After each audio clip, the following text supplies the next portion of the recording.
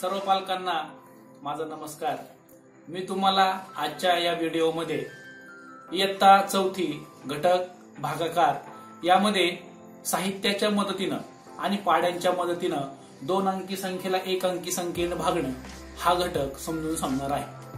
हा घटक समजून सांगितल्यानंतर तुम्ही घरी सुद्धा साहित्याच्या मदतीनं पाल्यांचा सराव घ्या आणि त्यांना समजून सांगा. चला तर सुरू करूया.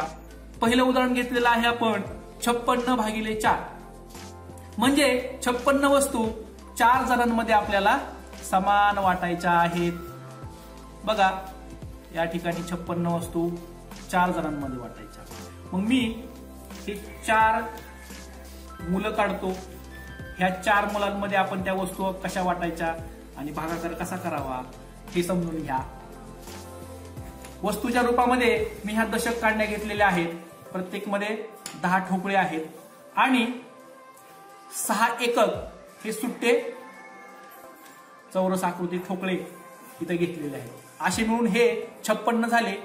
आता पहिल्यांदा आपण दशक वाटू. पाच दशक ह्या चार जणांमध्ये आपण समान वाटायचे.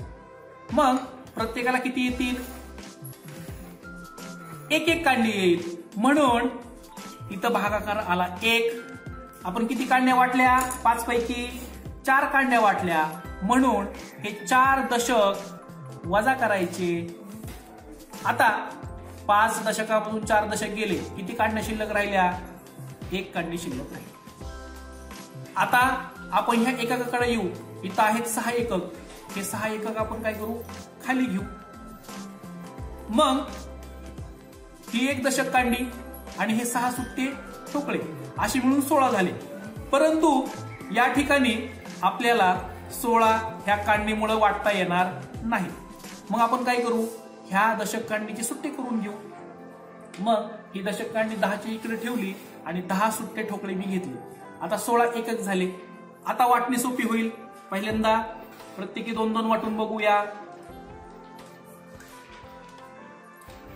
ठीक आहे. आता आणखी एक एक वाटू. अजून चार शिल्लक आहेत. म्हणजे चार जणांना अजून एक एक येईल. बघा. तर तुमच्या असं लक्षात येईल. प्रत्येकाला समान चार चार ठोकळे आलेले आहेत. आणि वाटले किती? सोळा. प्रत्येकाला चार चार समान ठोकळे आले. म्हणून वरती चार लिहिले. आणि सोळाच्या सोळा वाटले. हे सगळं वाटलेलं आहे. बाजूला घेऊया. शिल्लक किती राहिलं या ठिकाणी? काहीच नाही. म्हणून ही बाकी आली शून्य. आता हेच आपल्याला पाड्याच्या रूपात पाड्याची मदत घेऊन भागाकार कसा करायचा ते पण पाहूया. बघा या ठिकाणी छप्पन ला चारनं भागायचंय. म्हणजे चारचा पाडा छप्पन पर्यंत म्हणायचा. परंतु चारचा पाडा चाळीस पर्यंत म्हणता येतो. म्हणून पहिल्यांदा दशकाला आपल्याला भाग द्यावे लागेल. मग चारचा पाडा इथं लिहूया. चार एके चार चार दोन्ही आठ चार त्रिके बारा चार चौक सोळा चार पंचे वीस. याच्यापुढे आपल्याला काही पाडा लागणार नाही.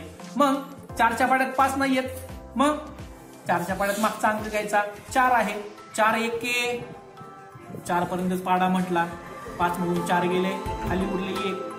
एक एक ठिकाणचे सहा खाली घेतले. मग हा एक दशक आणि सहा एकक मिळून झाले सोळा. आता या सोळाला परत चारनं भागायचंय. मग चारचा पाडा परत सोळा पर्यंत म्हणावा लागेल. चारचा पाडा सोळा पर्यंत चारच्या पाड्यामध्ये सोळा आहेत की? आहेत. चौथ्या स्थानावर या ठिकाणी सोळा आहे. म्हणजे चार चोक सोळा चारचा भाग गेला. सोळा पर्यंतही भाग गेला म्हणून सोळा वजा केले आणि खाली उरले बाकी शून्य. अशा पद्धतीनं पाड्याच्या मदतीनंही आपण भागाकार करू शकतो. तुम्हाला हे सर्व अगदी छान पद्धतीनं समजलं असेल अशी अपेक्षा करतो. धन्यवाद.